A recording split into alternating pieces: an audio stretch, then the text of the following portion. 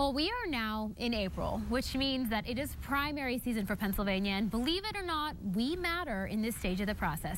We're joined now with David Yonki from the LULAC Political Letter to talk about the races. And David, is always so great to see you. Very happy to be here. Thank you for having me. So let's begin in Wisconsin, which happens before Pennsylvania's primary. And the Wisconsin primary is coming up fast. Right. The Wisconsin primary is going to set up the Pennsylvania primary. But what's happening in Wisconsin right now is you have two expresses traveling through the state state of Wisconsin. You have the Clinton Express and the Trump Express, and you have Bernie Sanders and Ted Cruz on the side of the road with a bucket of nails that are going to try to throw nails into the road to slow down that express. And if that happens, then Pennsylvania is going to be a real Donnybrook. So why would you say then that Wisconsin is crucial to both parties? Well, because right now, um, Trump has to at least dominate in that state, or else he's going. His campaign is going to be stopped.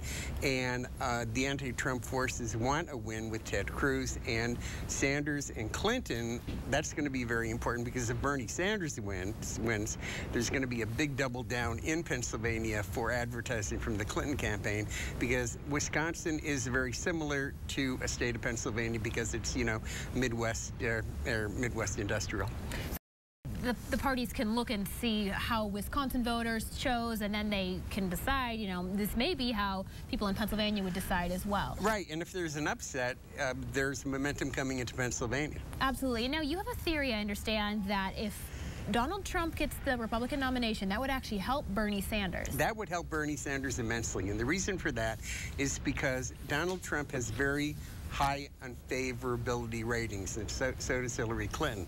Bernie Sanders, even though he is a self-proclaimed democratic socialist, people like him.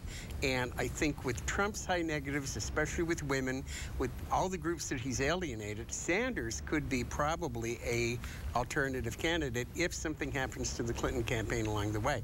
Trump's mistakes kind of makes Bernie more palatable.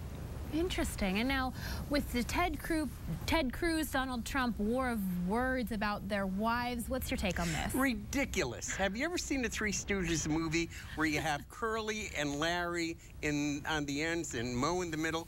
We need a Moe in the middle to knock the heads together and say knuckleheads. First off, Cruz should not have really.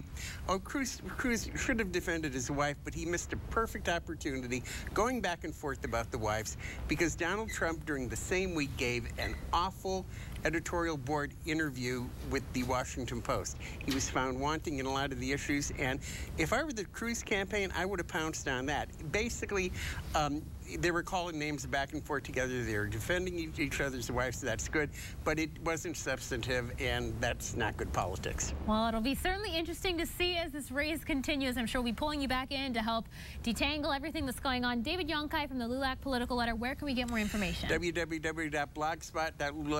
www.blogspot.lulacpoliticalletter.com. Or you could Google LULAC LULACpoliticalletter.com. I've been doing it for 10 years and the tongue's twisting. I love it. All right, David, as always, thanks for being here. Happy to be here. Thanks a lot.